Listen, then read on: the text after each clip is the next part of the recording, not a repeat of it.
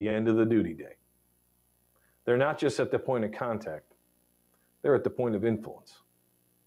To our sergeants and staff sergeants, you have an enormous responsibility to take care of America's sons and daughters who raise their right hand to serve. That's what This Is My Squad is all about. We're building on our foundation of strong, cohesive teams throughout the Army. We're starting with you because trust in our Army starts with you. And no one knows more about this extremely important topic than Sergeant Major of the Army Michael Grinston. SMA, the net is yours. Well, I can say uh, welcome to AUSA. And this is this kind of live virtual event. Uh, and this is really exciting for me to be here hosting this event today. I want to talk about our initiatives. I want to do a lot of things today. I actually, uh, before I even say all that, I just want to say thank you uh, to SMA Dailey uh, for your uh, hosting this, and a special thanks to the Secretary of the Army. He's been a great supporter of the NCOs and all the initiatives that we have for the NCO Corps and our Army in the last year and a half or year or plus since I've been the Sergeant Major of the Army. So the, the goal of what we're doing today is, you know, we're going to do virtually, but I also want to be able to, to interact with everyone. So I remind you all, please go on the website and then post your questions because at at uh, at the end we are going to go for questions, and I look forward to those really challenging questions that were that were uh, troubling us right now. Um, so last year, as I started as the Sergeant Major of the Army, we had our initiative. What we wanted to do is say, here's where we're going uh, last year. So this year, as my second year, I want to say, here's where we, we are today, and this is where we're going into the future. So this is I check to see how we're doing and how I've done over the last year. The first thing we talked about last year was this is my spot. This was about ownership, about possession. It was about a cohesive team and how we built that. And that's what we talked about. And then we built on that in this last year. What we said is we want to focus in on leadership in the middle. This is about fit, discipline, and well trained teams that build cohesive teams. And as you build this, as we think about it, this is about understanding our people. We look at what we're doing with foundational days with Forces Command. This is about listening and understanding. This is about compassion. It's about empathy. It's about showing a positive energy for all our soldiers in the future. Next slide.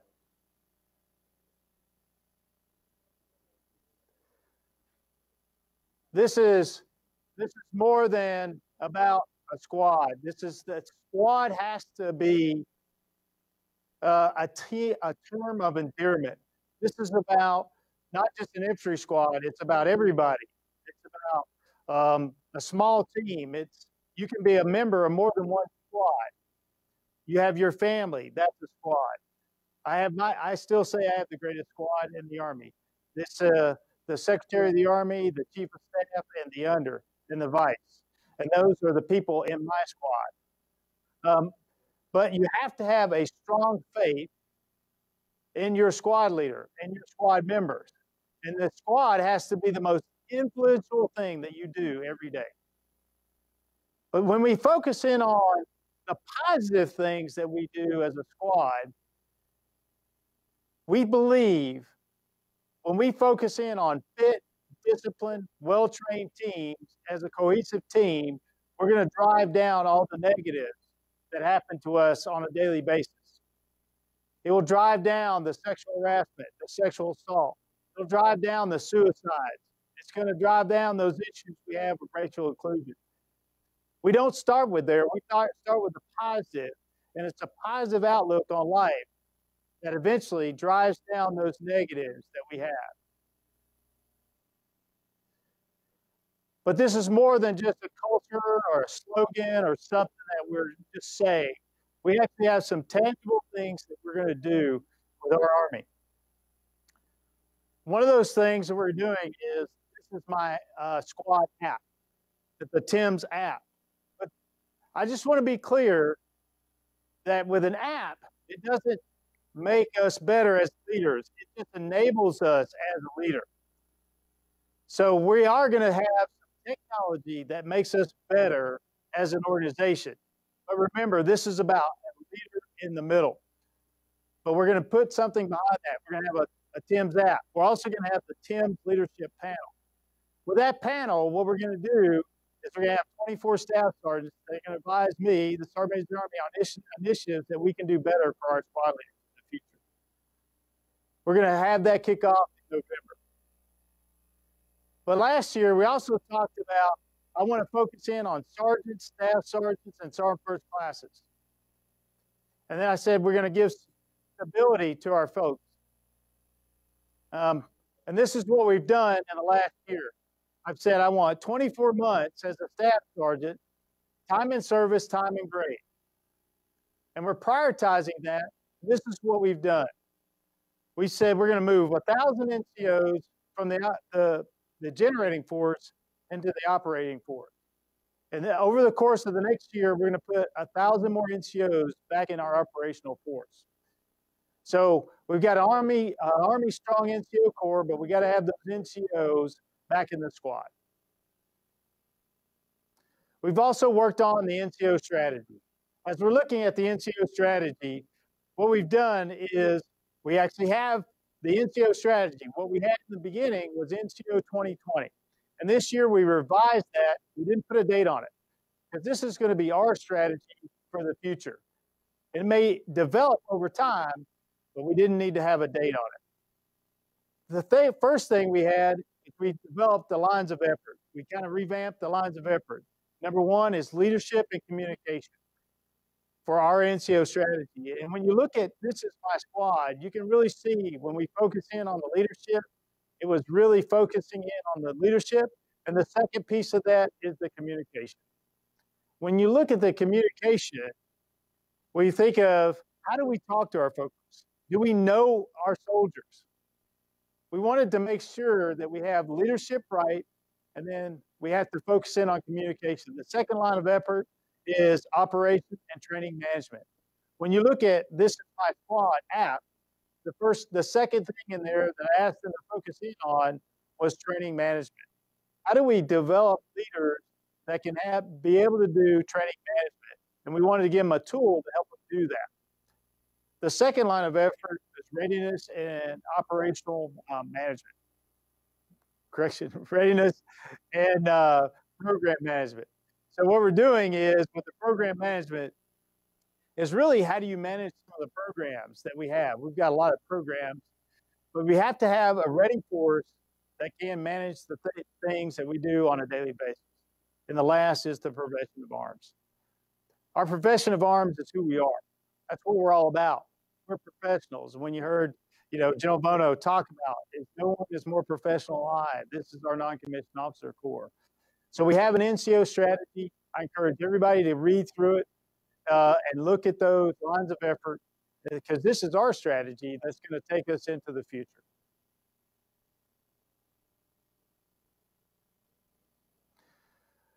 The last thing that uh, we're going to have in this effort is SMA talks. We do these, we've also done some noon reports with AUSA, but we're also doing a YouTube where we come in and we talk about those hard subjects and what we can do is just sit down, we have a good conversation, so I'd encourage you all to go ahead and tune into those. If you got those hard topics that you want to hear us talk about, please send those requests in to us, and then we'll bring those up. And we're out there, we're talking about those. But those are some of the initiatives that we have, and one of those things is SMA Talks. So now let's talk about training. We talked about one of the lines of effort in the strategy is training management. Uh, we've also looked at what we said. We wanted to focus in on sergeant's time training. We also wanted to do some kind of financial management training and a master's degree program. The, some of the things that we really hit home this year uh, was the, the individual training. We really We really took off with the expert soldier badge, but we still have a long way to go.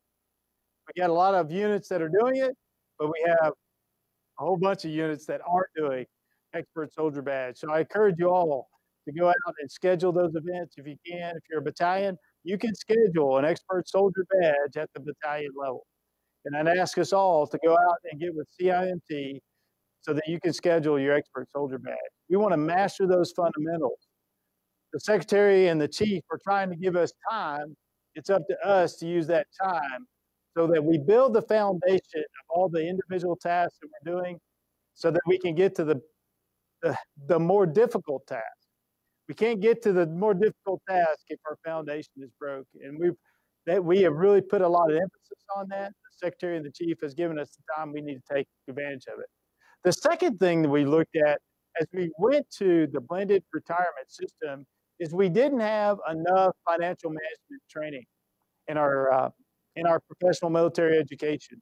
So this year we put more financial management in our professional military education. We're going to start with BLC. It was already in the uh, advanced individual training and AIT and basic training, but we really didn't have a progressive and sequential uh, financial training from basic leader course all the way to the Sergeant Majors Academy.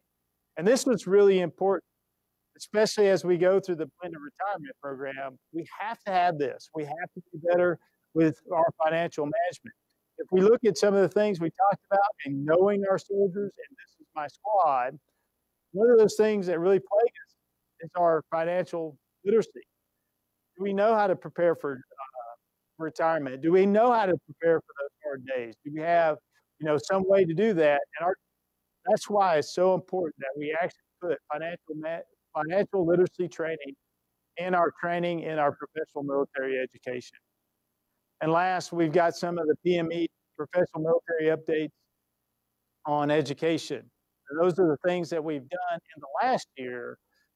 Some of that is just because of we we acknowledge this is an extraordinary time in our country. So we've actually, as we were going forward for our professional military education, uh, we had to change a little bit last year, but we are still moving forward. We have the order of merit list.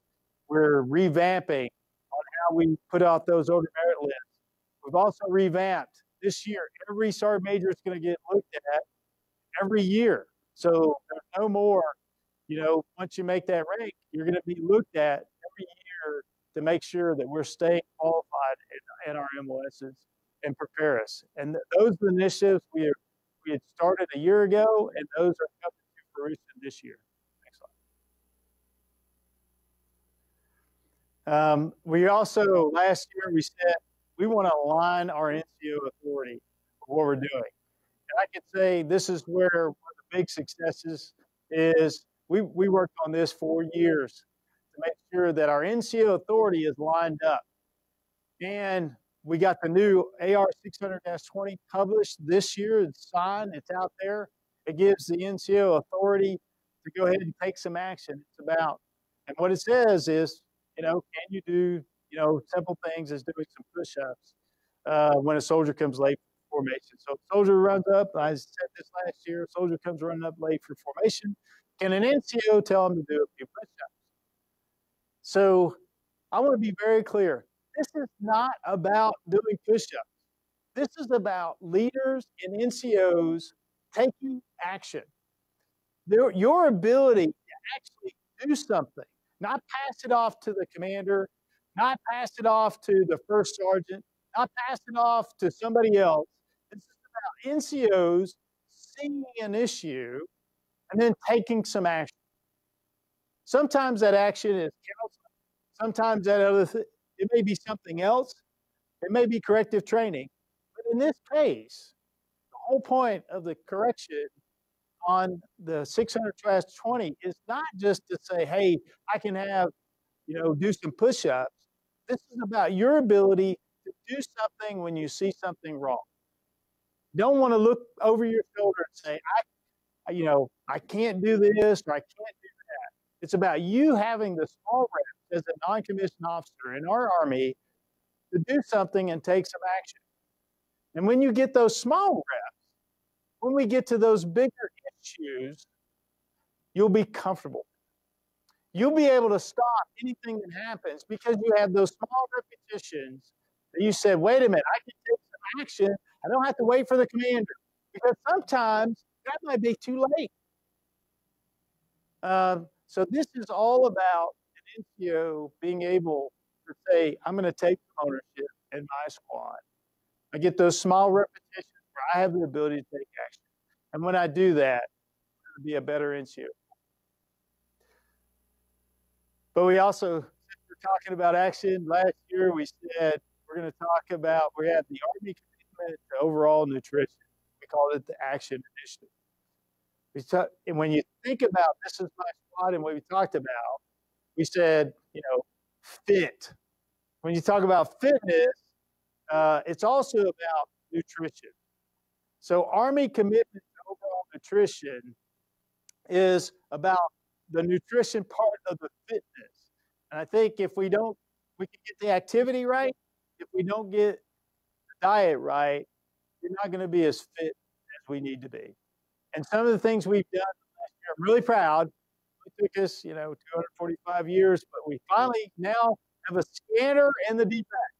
So when you go in at long lunch, and nobody they just went out like this week, is that you should be able to go into the DFAC and scan your ID card as you go in the DFAC so they kind of help you get through. Because a lot of people are saying, I can't get, I don't want to go to the DFAC. It takes too long.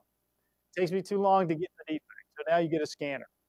Uh, we've also got, we also have the ability, again, to pay with a credit card. Um, those haven't actually gone to the dining facilities yet, and this is how we're going to transition to the Warrior restaurants.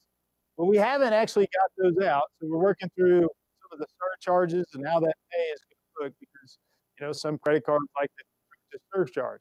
But we've got the we've got the devices. Now we got to work through DFAS and everything on how we can go to the DFAC and pay with a credit card.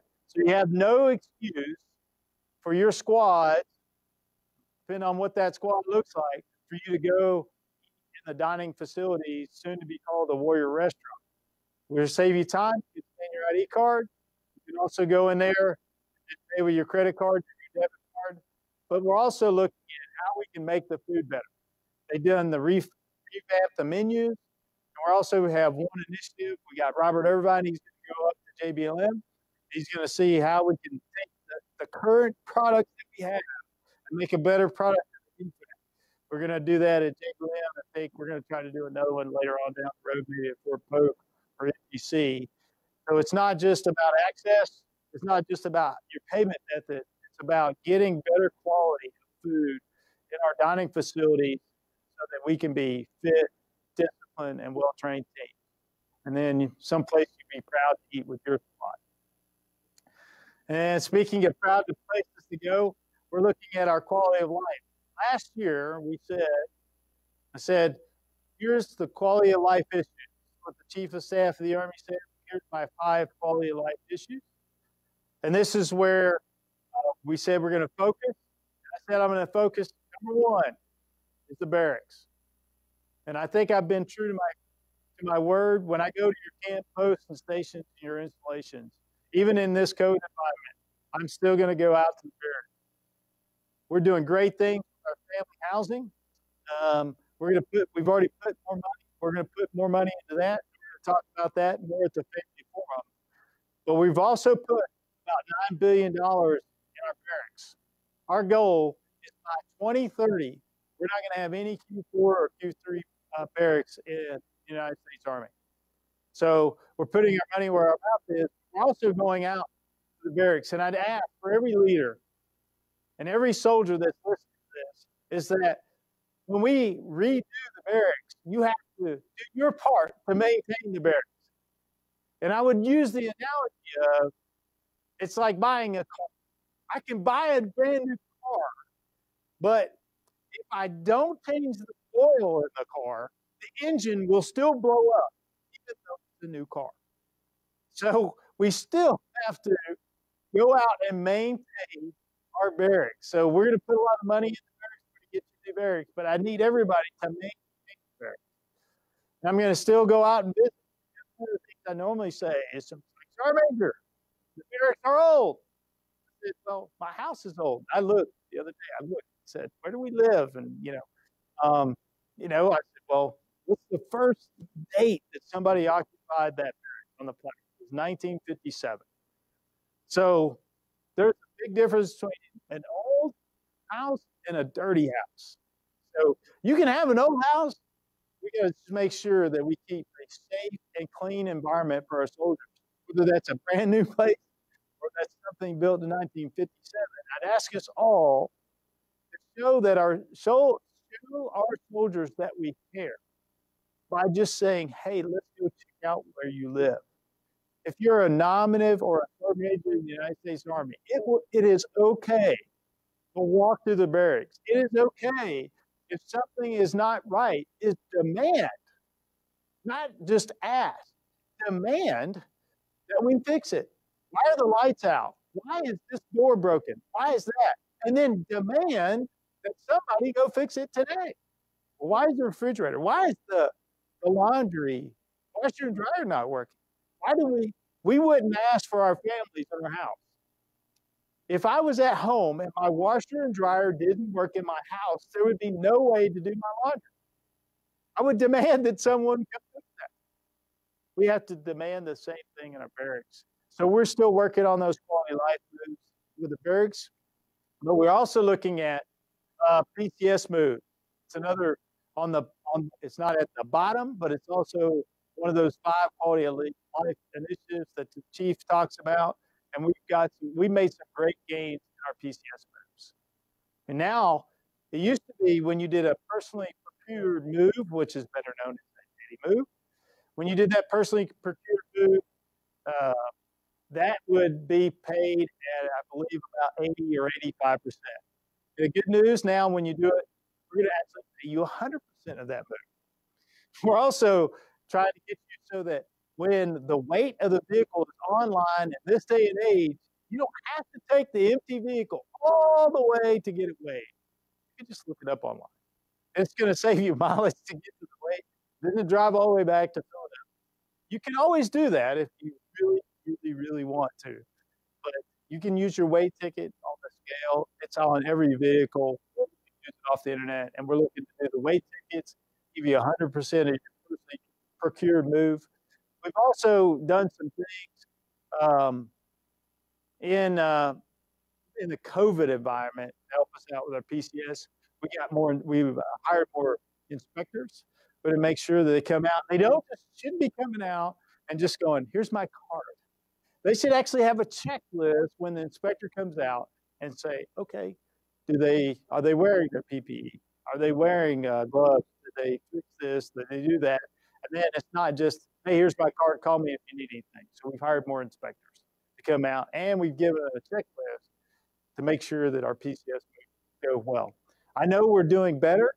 I believe we're doing better, but I ask you all, if we're not, fill out the surveys.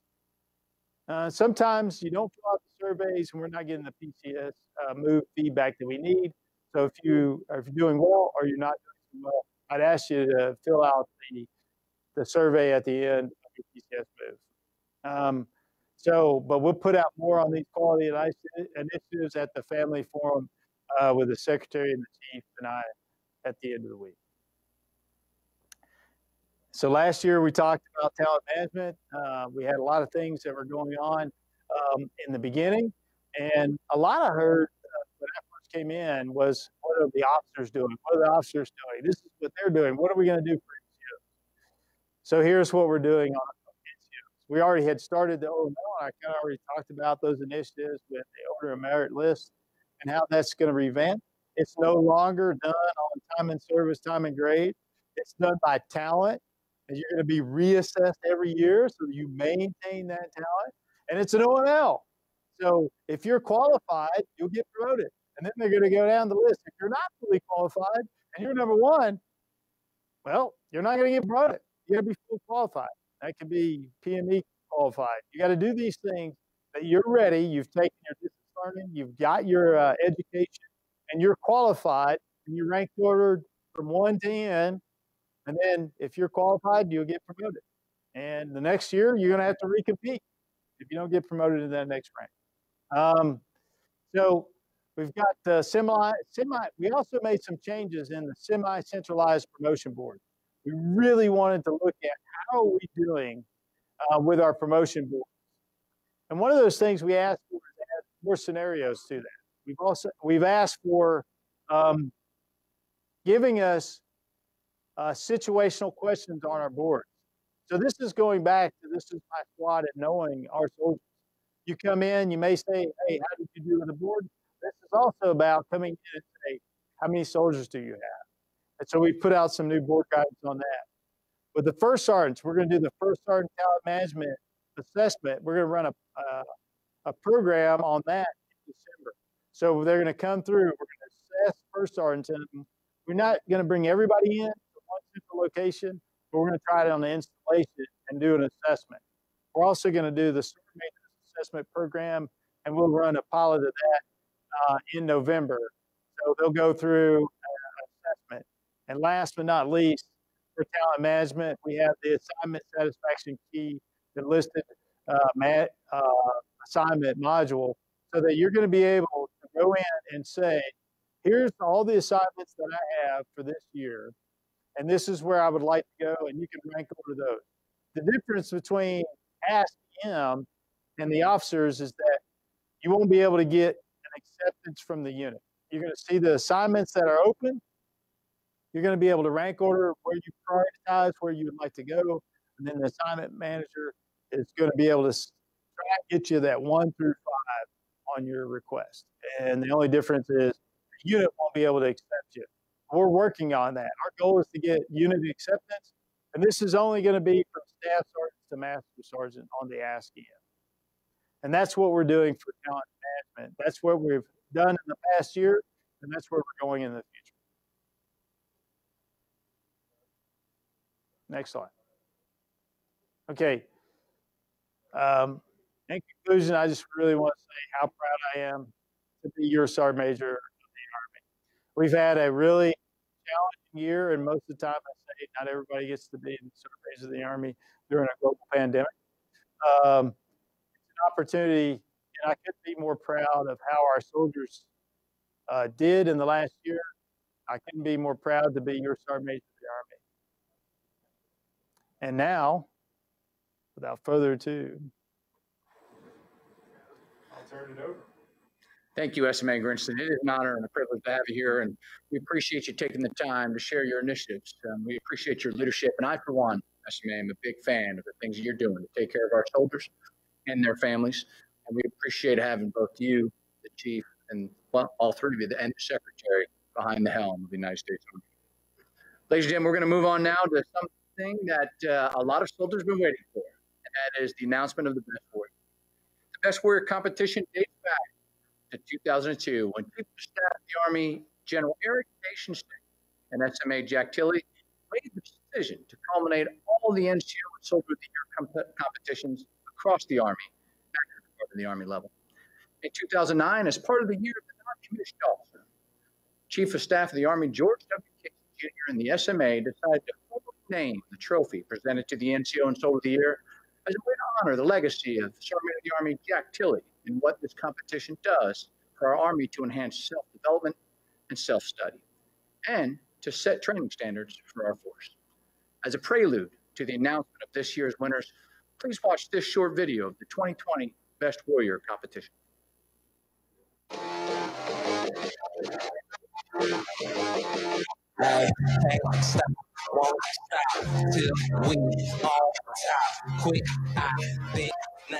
Coming for the number one spot.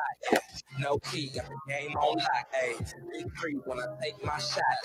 On the rise and we ain't gon' drop on the grind. It's all time. Just watch. If you want it, you can get it. Life it's hard, but don't you let it get you down. Go get the crown because our time is with it.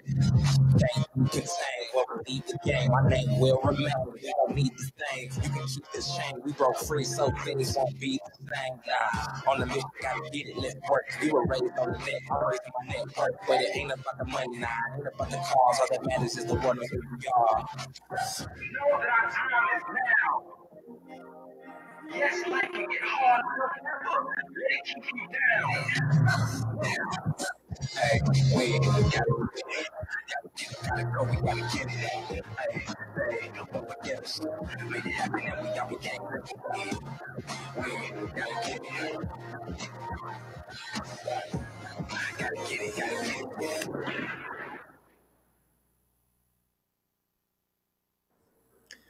Ladies and gentlemen, let me introduce this year's Best Warrior Soldier competitors. Representing United States Army Reserve, Specialist Stanley T. Thompson. Representing Training and Doctrine Command, Specialist Keith E. Howe. Representing Army Materiel Command, Specialist Francisco A. Gutierrez. Representing the Military District of Washington, Specialist Jonathan McBride. Representing United States Army Forces Command, Specialist Garrett W. Turner representing Army Special Operations Command, Specialist Calvin Fonte. Representing United States Army Europe, Specialist Justin M. Rivard. Representing Army Cyber Command, Specialist Genesis Miranda. Representing United States Army Pacific, Specialist Wei Yo. Representing Army Futures Command, Sergeant James B. Akinola. Representing Army National Guard, Corporal Daniel R. Dipolito. And now, the announcement and the answer to the question you've all been waiting for. Who is the Soldier of the Year for America's Army for 2020?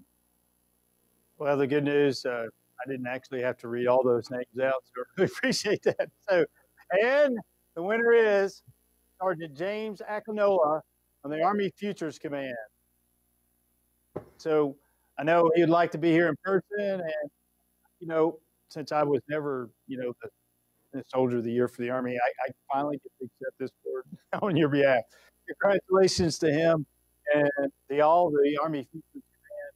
Uh, this is a, a, great opportunity, and uh, we're going to make sure that you get the trophy uh, sent to you. And you know, just so you know, uh, they can see the future, so maybe that's why he had a leg up.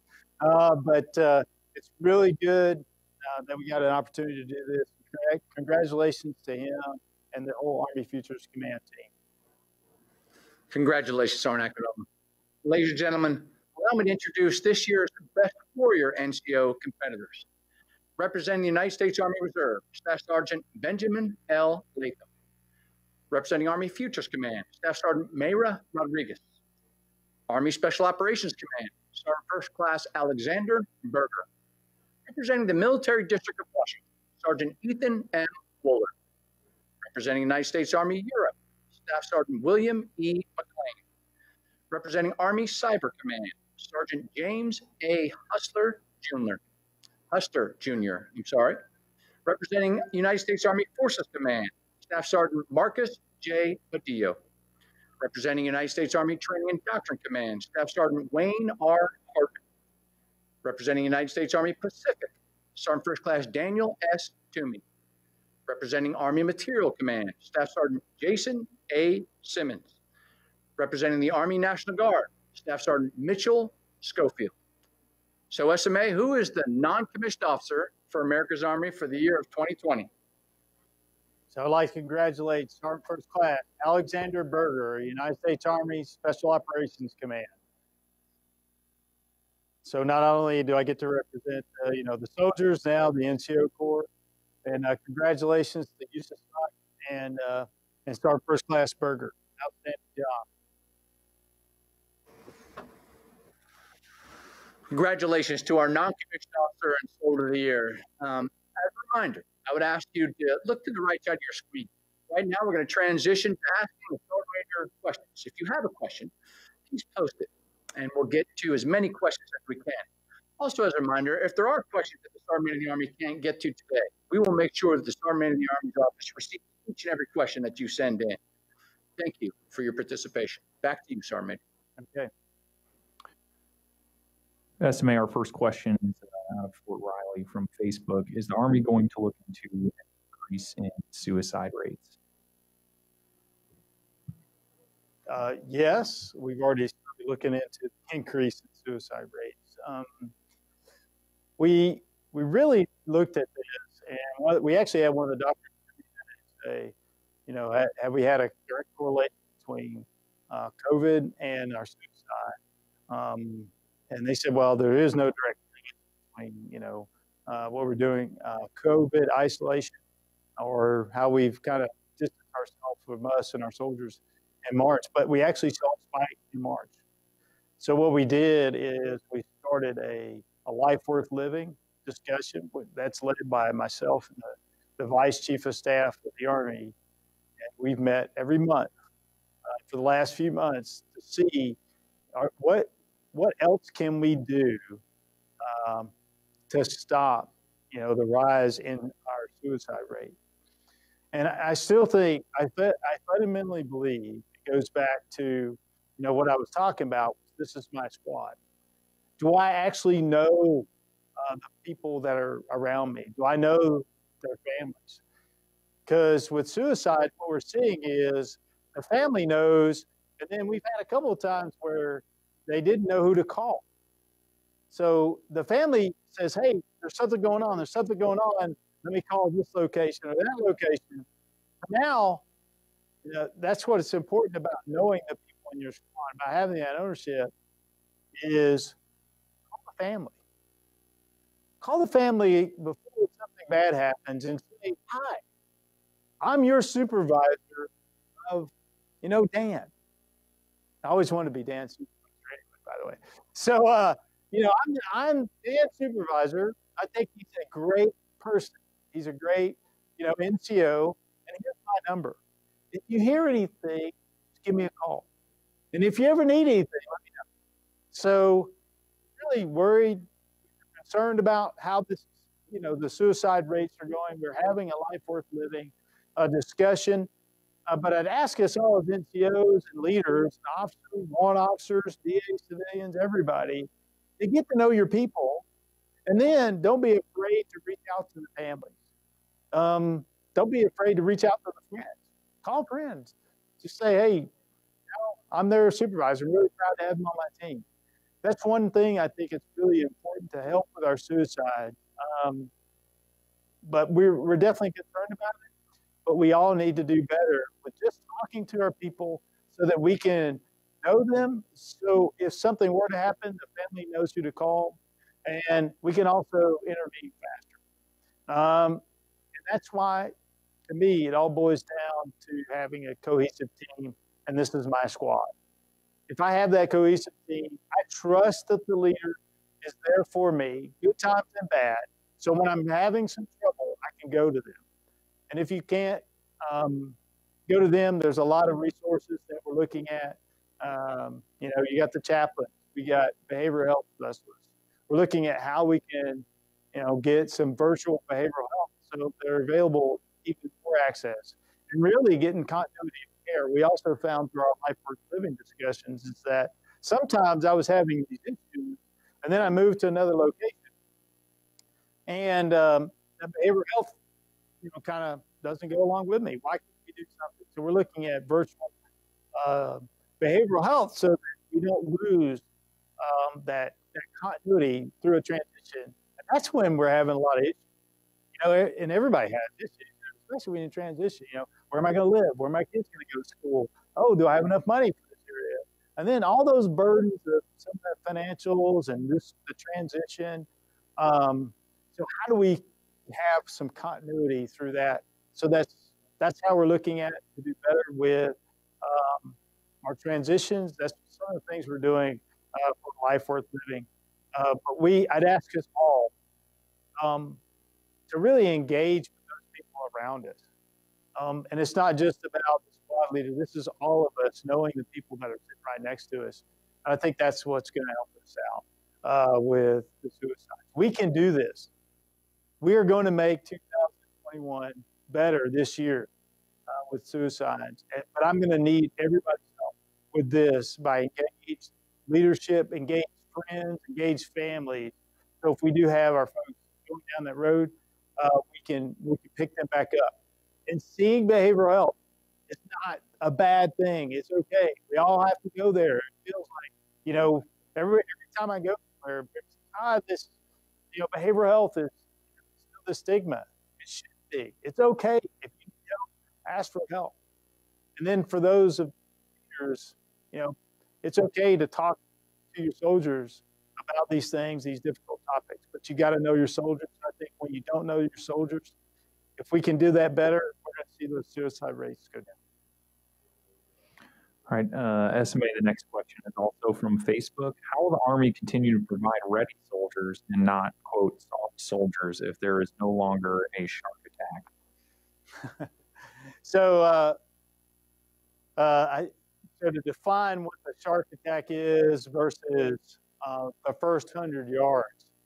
So, what we had, uh, the definition of a shark attack is what I actually had, probably what all you had, some of you had uh, for the older folks, is when you came off that cattle car, you know, you had you know 1,000 drill sergeants yelling at you. And I still give my example.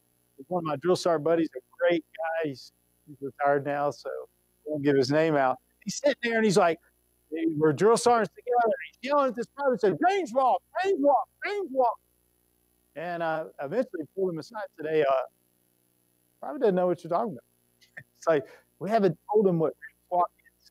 So I think that's where we're going. I don't think we're building soft soldiers. It's going to, it's like, instead of screaming at them, they go, I don't know what you're talking about. We're to, we're to bring them in and show them what it means to be on a, a disciplined, fit, cohesive team. And that first 100 yards, that's what we're doing at Benning.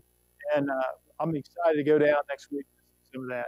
So I don't think we're building soft soldiers. It's just a better way to do it. And then you don't actually confuse anybody by sitting there yelling at them. It's something that they actually don't know what to do. All right, SMA, one more question from Facebook before we shift over to the AUSA platform. Uh, Chris Burks asks, why is the ACFT being pushed back until 2022 and no PT test to validate as a uh, record PT test during this time? This has given us enough time to actually take the ACFT. Um, when we looked at it about a year and a half ago, or two years or three years before, uh, I don't think we actually saw a global pandemic coming. so, as we got the equipment out, we can get equipment out, but how do we bring people together? And how do we maintain those fitness levels uh, over time? Our gyms closed. Our uh, we didn't have all the equipment out. We had to we had to figure out how we're going to do this, and we start to see. So we pushed this out, and this is about again engaged leaders. You can still maintain a good level if you have uh, good soldiers and good plan. I said that you know the pavement is still open. Um, there are many body weight things uh, that you can do to maintain your fitness. But the reason we went to March 22 is to give everybody the opportunity to go ahead. We're going to take right now. There's no more APFT. It's the test of record. I'm taking mine on Thursday. Normally, I would take it with the the, the uh, best warrior competition. That's why I took it last year. Uh, but it cleared this year. It was virtual. So uh, they took one, but nobody took it here, right here. So I'm going to take one on Thursday. And that's what everybody should be doing. Um, and it still requires us to take the test. And it's going to help us inform the decision. But the reason we pushed that back was a couple of things to give everybody a chance to get the equipment out and give us plenty of time to actually go ahead and take all those tests that we have. We don't want to disadvantage any group and then we go for March 20th. But it doesn't negate the fact that you still need to do good, hard physical. SMA, the next question is from the AUSA chat. Are you looking at developing a system similar to the battalion command assessment program for the selection of command sergeants major? Uh, yes, that's why we're running uh, that prototype in November. We've got 32 sergeant majors that are going to actually, they're actually going to go through the battalion commanders assessment program. They're going to go through the whole assessment. They're going to go the board. Uh, it's going to be a different board. It's not going to be all officers. It's going to be sergeant majors on that board to have a cognitive and non-cognitive assessment for the sergeant majors. And that's going to inform us. It's going to inform us where we need it, the resources that we need. We need to tailor it. Um, so we're going to do that in uh, November.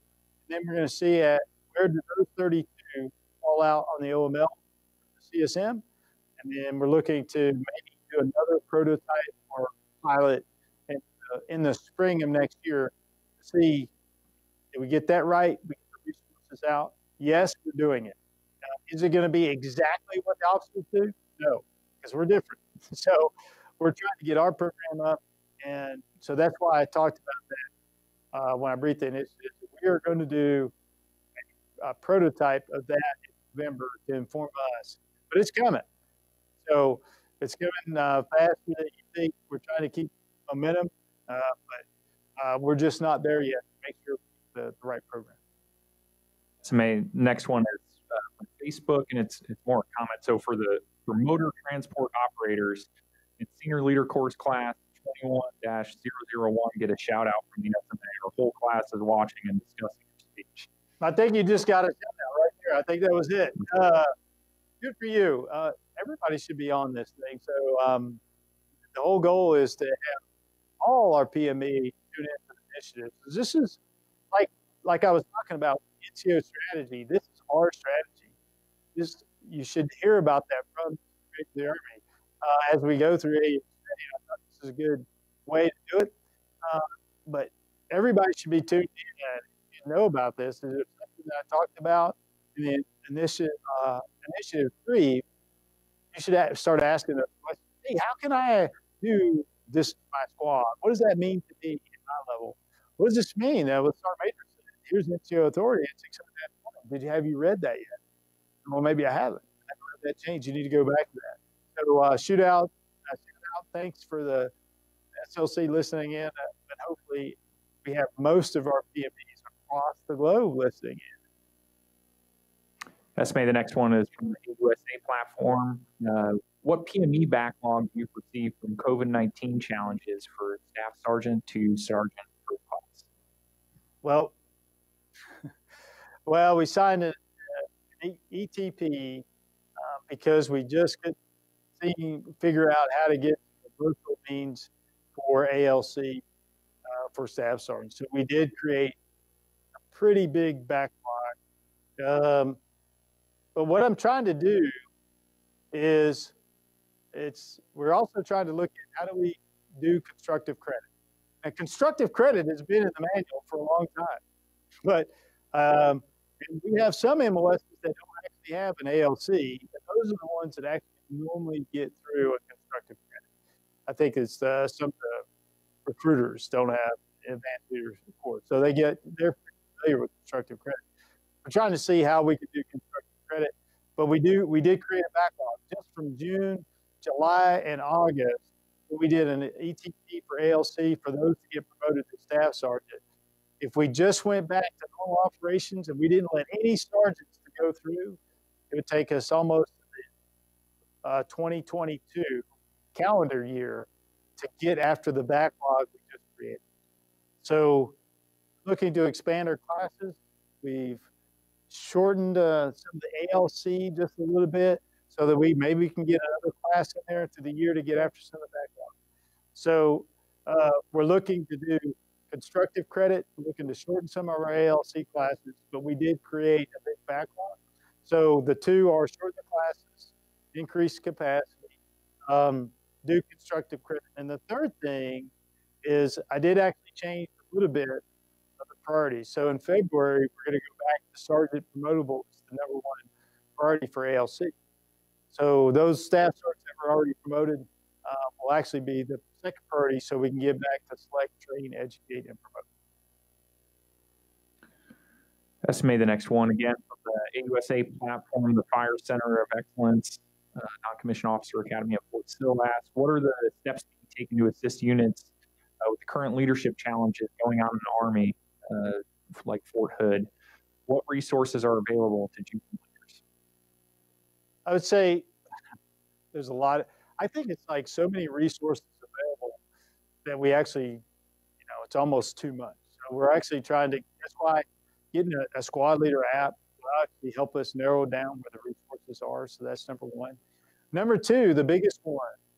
Again, the app doesn't, you know, make up for bad. Is I again, I want to say, you know, build a better leader itself. And some people don't actually understand when I say that. What I, what I truly mean by it, I have, I want to do more this, whether that's sexual assault, do more sexual assault classes, do more uh, equal opportunity classes. I think we already have some of those classes available. But do I need to redo the professional military education to build a better leader? And then if I have a better leader, uh, then hopefully I don't need to do more of these classes over here and over there.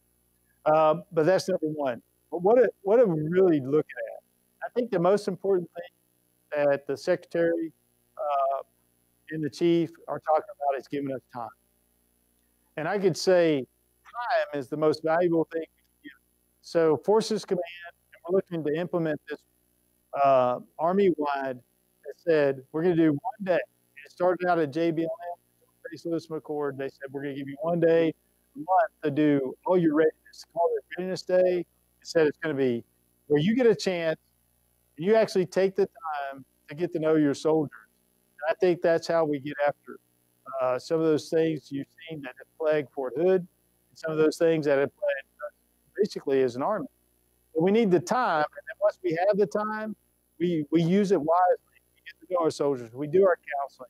We make sure we're up to date on our physical fitness tests. We make sure uh, that we walk through the barracks. Maybe we put on our uniform to make sure, you know, we've got the, you know, my Army service uniform to be, the Army Green service uniform fits right, and it's all going well. So given the giving the unit time, one day a month, the full day, to go back and relearn some of those things we've done, I think that's the most important thing that we're going to do. SMA, the next question will this is my squad in any way be integrated uh, with the systems already available, such as IPPS-A and DTMS? Yes. I'm not, we still haven't fully implemented IPPS-A yet, so I'm not sure exactly. Uh, Compo 2 and 3 already have it. Um, so we're still working on the Compo 1. I'm um, not sure how this is my going to be integrated, but this, the digital training management system, or whatever we call it in the future, is going to be integrated into This Is My Squad app. So the number one priority I asked for them to work on in the app, number one, was sponsorship. It goes back to what I was talking about before. How do you transition? So if I've got an app that helps me, you know, just say, hey, I've got Ortega's come to my unit. He's got a family. He needs a house. His kids, he's got kids, so they need to go to school. So if I can get sponsorship and welcome you into my unit, that was the number one priority for This Is My Squad. The This Is My Squad app. The second thing was training management. It's also, you know, one of our efforts in the NCO strategy. So the digital training management would download into the My Squad app. And we, what the goal is to be able to sit out there, I do my PT test, I do a task for my warrior task in drills. I can do that, put that in the app, and it gets uploaded in the digital training management system. And that's the, the goal of this is my squad app. So yes. All right, the next question is from Facebook SMA. In regards to the enlisted talent management, is there a component of the plan to address and guide the enlisted leaders of the Army Reserve and the National Guard to stay on par with the active component? uh, well, yes, but it's it's it's clearly much more difficult to do. Um, you know, how do I, you know, if I've got one battalion maybe over four or five different states, and how do I bring them in and do an assessment, and where's the location? It's, kind of similar to the problem we're having uh, with the first sergeants. So we want to do a first sergeant assessment program, but all the first sergeants don't go to one central location where the Sergeant Majors Academy, everybody goes pretty much through the Sergeant Majors Academy. So um, think for Compo 2 and 3 to do talent management, you're going to have the same challenges we're going to find through uh, um, talent assessment that we're running. How do you do it? Where's the location? How many resources do you need? And Sergeant Major and Sergeant Major Lombardo, those organizations, and they're, I think what they're going to do be able to do is learn for the active component. As we kind of go through this, you know, they've already asked integrated into it. Of hand that off, and they can see how they're going to work for uh, a battalion that's in three or four states. And how do they do that? Our talent assessment. SMA the next one's from the state platform. Uh, Ryan McLean asks, will the new PME financial literacy training teach young leaders how to plan and use government savings programs to send children to college? send children to college. Um, well, I, am not sure it'll be that, you know, specific on how to send uh, children to college financial literacy. Uh, I think I've looked at some of the PMIs already, so it just increases some of the awareness of those options that are available the thrift savings program. And what do I need? Do I need to have more life insurance? Do I need to have an emergency fund? And it may not say, so it's how do you uh, get uh, financial stability and literacy on things you can do. And it may not be that tailored to you as an individual. But we do have in the Army uh, Community Services, we do have programs where you can sit down and say, here's some of the things I need to do. We, we pay folks on our installations already to help you with these things. You can get some advice and say, here's one of the goals I need. One of those. I think that that would be more tailored to how to get my kids uh, pay for college, as opposed to you know how do I save money and wealth over time, and that's the and, or how do I not put myself in in bad debt over time, and how do I save for retirement? It's in a, a more general speaking as opposed to um, saving for college. But you can always use, you know, if you got the 911 GI Bill, you can still use the 911 GI Bill uh, for your college education. Um, you have a service remaining requirement, I believe, is six years. So uh, if you if you're in the active component, transfer that uh, uh, that benefit to your family members.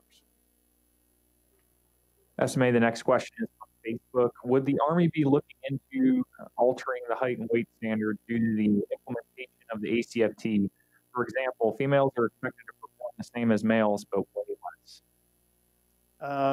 So right now, usually I say no. So, uh, so, uh, and if we weren't doing this completely virtual, I'd say, well, what do you want the body fat percentage to be? so I know it's about weight, it's also about body fat percentage. Um, we are not the service. Um, the Marines have a, a, lower body fat percentage than we do as an Army.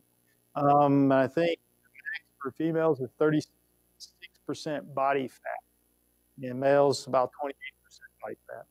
So if you really paid attention on my slides, one of those things I wanted to do was make us more fit and um, actually the goal is reduce our body fat uh, as an army. So at some point in time, when you get so much uh, body fat, you're going to be, you know, literally the army, it would be obese. It's about the body fat. The goal is not to make that larger uh, for anyone. Um, the one thing we are looking at, and one of the studies that we have, is uh, and it is for female athletes. We're looking at those females that have gone through Ranger School and Special Forces. Did they kind of change their body composition?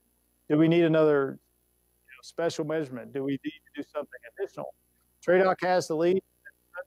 So right now, we're not looking to increase because you didn't say specifically increase our, our body fat percentage.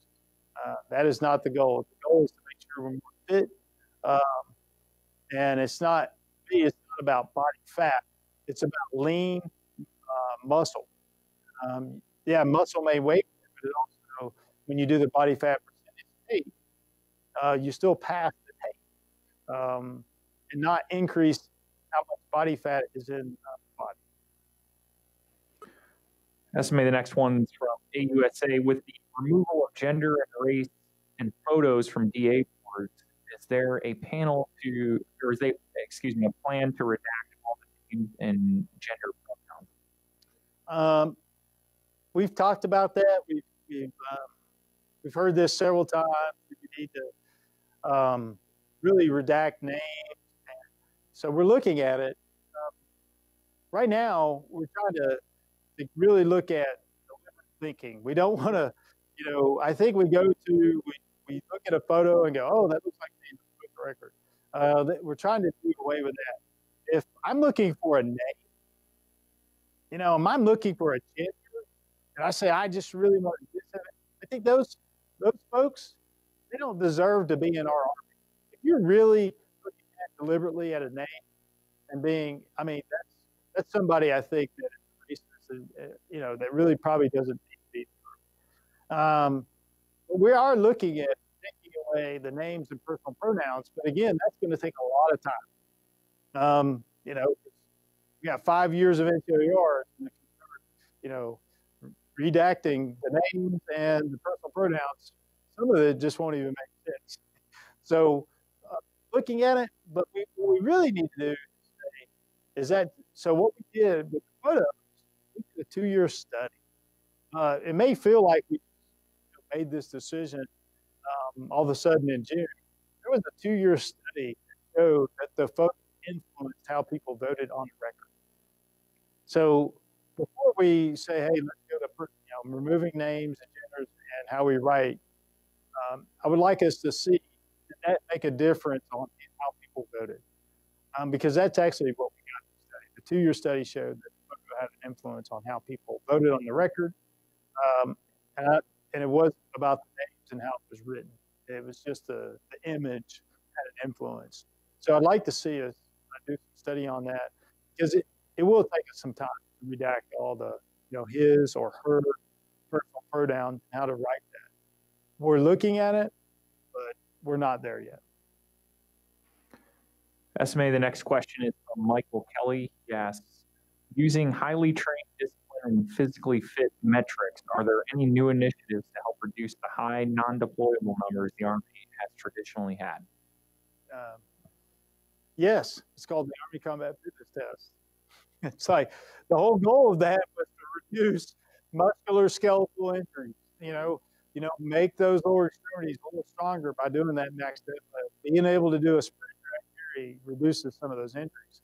Uh, but the good news is, I know uh, most people don't realize we've actually around four, five, six, below six percent non-deployables. That is uh, extremely low from where we were 10 years ago um, we were up 10, 11, 12 percent. I mean, it was, you know, 50, 60, you know, 70, 80,000 people non-available, non-deployable.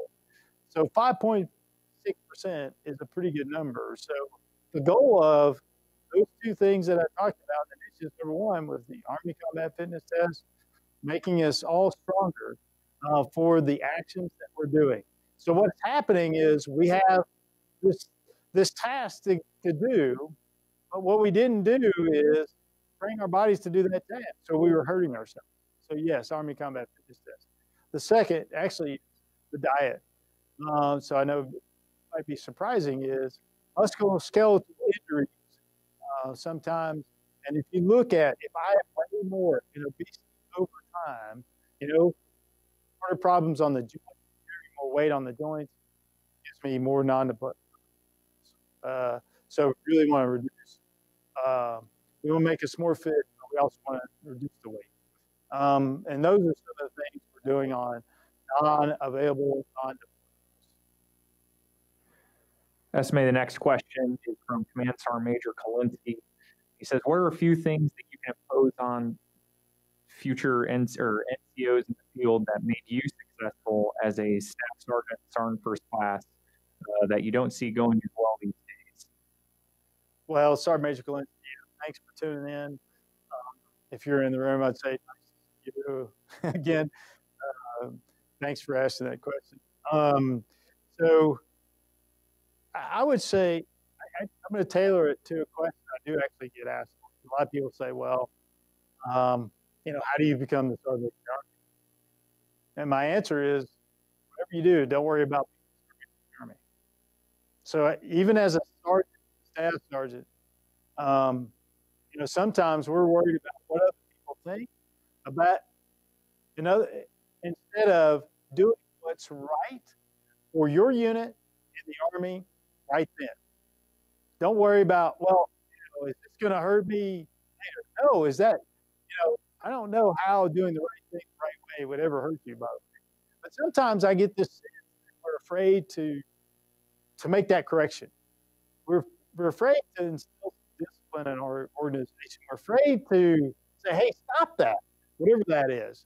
Um, so engage leadership uh, is one of the things that I think we, we all have to, to get back to. And don't worry about, you know, you know what other people are going to think. And that's what I mean by don't, don't worry about, don't try to get to that next level. Be the best version of you right now and do what you think is right for the Army and your organization. And sometimes I think as, uh, as I go around, the NCOs are trying to, you know, you know, well, I don't know. Do I write this counseling? Do I take this action? Do I do this or do I do that? I'm trying to get. I think I'd ask you not to do to go in. You did it for all the right. You did it the right thing. The right I think we're going to be better. Uh, I see that they're not engaging uh, sometimes that way. Some organizations do it better than others, but I would say don't be engage with your soldiers uh, and be the leader that you always wanted when you were that uh, that young soldier. That's maybe the next question. Facebook. Does the Army plan to impose stricter restrictions on soldiers' use of social media? Uh, no. I think I think even if we did try, it would be just some other social media thing that just comes up. Um, stricter restriction on. You know what? What I asked you though, just to remind you, because it came up in one of our panels. You know, SMA Dailey and I. One of the staff sergeants says, "Hey, now you can do anything you want on social media." Um, I would tell you that's not true. You can't do whatever you want uh, so I see uh, tighter. I don't think we're tighter restrictions on what you can do. Just saying the world open up. But I would caution you all is that you know things that happen on social media can come back uh, to haunt you. And this is no different than what uh, people do employer. They look at your social media page. Um, they look at all these kind of things that you do on social media. Um, so I, I, I would say we're not going to have tighter restrictions on it, but I caution you all, uh, these things are out there. Um, it's public knowledge. That's why page on it. We put out an expert on how to do social media and some of the things. So I wouldn't say you can't do anything on, um, on social media. SMA, we've got one more question. Uh, this is from D'Angelo Curry on Facebook. Over the years, it seems the push was to do more with less, and it was a lot of pushback from leadership and service members. Well, it was difficult and stressful. Many units have done more with less during COVID. Is the success of doing more with less during this crisis going to be the new normal for the Army after the crisis is over? Um, yeah, I, I, guess I've heard this uh, throughout many years, a bit more or less. Um, but I, that's where the chief and the staff of the Army and the Secretary. I really appreciate one of the things that we're talking about is giving us more time.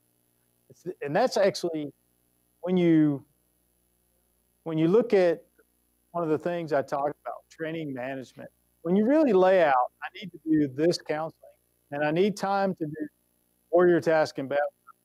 I need time to do this, and you start from the from the from the ground and build the foundation up uh, you're going to see that we'll be able to do more, less.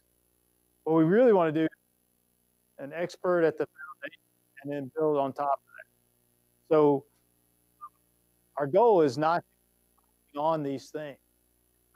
Here's where I ask of the leaders on things not to pile in is that um, I looked at some of the letters that we wrote um, maybe a couple years ago don't have a cor- corrosion NCO. And, uh, you know, I laughed and said, I didn't know I was supposed to have, you know, and, we go, yeah, I never have. So what I asked you to do is not, um, you're not going to ask the leader uh, in the next year or two more or less.